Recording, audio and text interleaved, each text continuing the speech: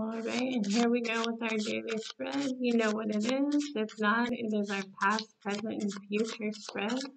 Let's see what we need to know today. All right, let's see.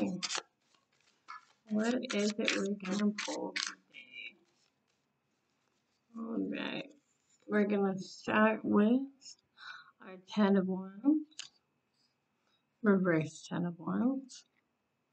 We're going to to our right side up, Nine of Swords.